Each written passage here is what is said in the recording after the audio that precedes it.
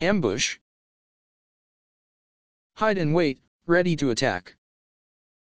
The boy with the blue hat is ambushing his cousin.